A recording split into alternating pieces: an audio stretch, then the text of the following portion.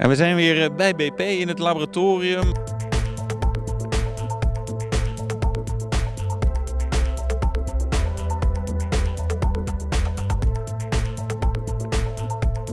We krijgen ook wel eens wat vragen van, "Joh, maar hoe werkt dat dan precies met ja, die betere brandstoffen? BP Ultimate, eh, octaangetal is iets wat voorbij komt. Dus ik wil even een aantal dingen gaan uitleggen eh, voor een aantal verschillende type auto's.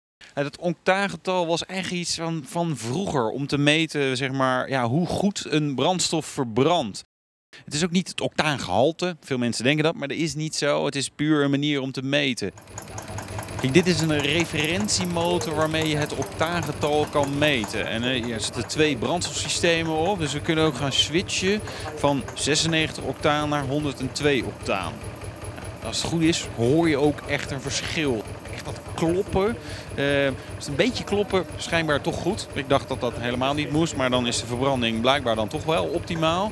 Maar als het echt harder wordt, dat betekent dat uiteindelijk je motor gewoon ja, slijtage gaat krijgen. Niet na drie minuten, maar als je uren doorrijdt, eh, dan zou je zuiger er zo uit kunnen gaan zien. En wat wel grappig is, nu past hij zeg maar de compressie van de motor. Dus dat, ja, ik ga daar niet te technisch op in, maar hij past de compressie eh, aan, zodat hij is geoptimaliseerd voor dat octaangetal van 102. En als we nu weer de brandstoftoevoer op 96 terugzetten,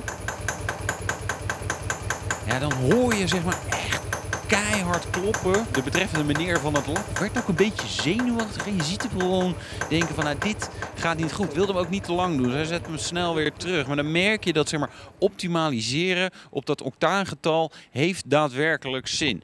Terug even naar de auto's. We beginnen even met de A-klasse. Een Mercedes AMG A45 moeten we hem tegenwoordig officieel noemen.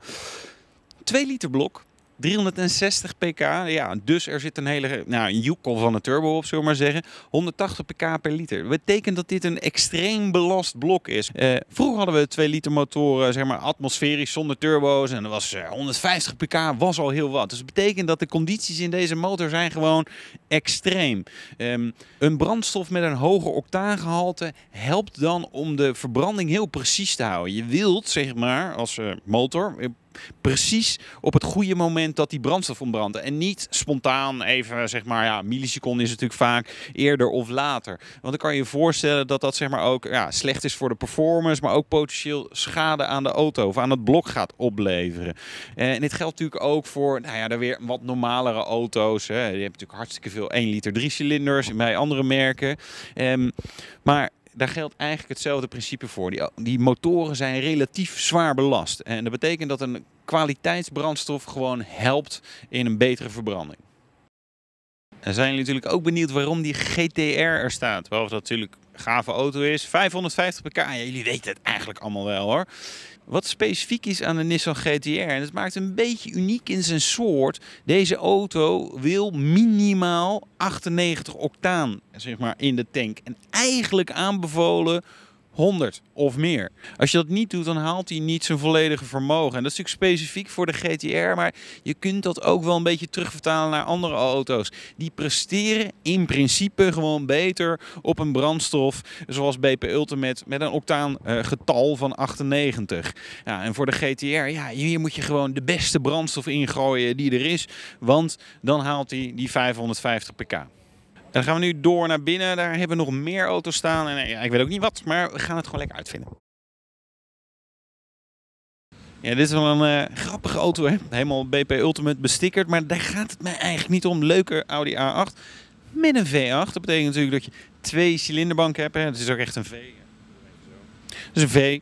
Vier aan de ene kant, vier aan de andere kant. Maar wat bijzonder is aan deze auto, er zijn twee volledige brandstofsystemen aan boord. Dus twee brandstoftanks, eh, twee keer benzineleiding, eh, twee keer verschillende injectoren, noem het allemaal maar op. De ene cilinderbank die loopt op reguliere benzine en de andere op BP Ultimate. En wat deze auto ook heeft, is twee cameraatjes, zeg maar, die in het binnenste van de motor kunnen kijken. En hier achter mij zie je een heel mooi plaatje. Dit zijn de kleppen van de motor. Ik zal verder de technische uitleg besparen. Dan ga ik hem omzetten. En dit is misschien een beetje schrikken, want dit is dus op reguliere brandstof. Ja, ronduit smerig zou ik bijna willen zeggen. Ja, dit heeft natuurlijk impact op verbruik, uh, performance, uh, hoe je auto rijdt, of je trillingen voelt of dat hij lekker oppakt. We kunnen er geen percentages aan hangen, dus we kunnen niet zeggen van goh, we hebben opeens 10% meer pk's of 20% minder verbruik. Maar je kunt je best voorstellen dat dit niet het optimale werkveld is voor een moderne motor, waarin alles zeg maar zo nauw luistert. En ik switch hem gewoon weer even terug. Gaan we even kijken naar Horter, hoe het eruit hoort te zien.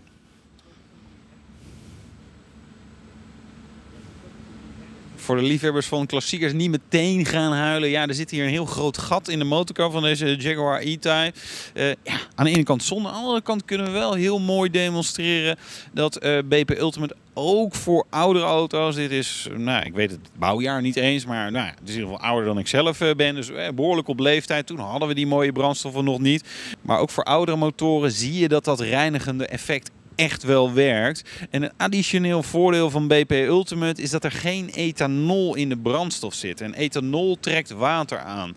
Um, ja, en met klassiekers rij je meestal niet dagelijks, misschien zelfs niet wekelijks. En dan kan het een probleem zijn dat er water bij de benzine komt. Uh, ja, dan is het een voordeel dat BP Ultimate zit gewoon die ethanol niet in. Dus dat is ook prettiger voor je klassieker.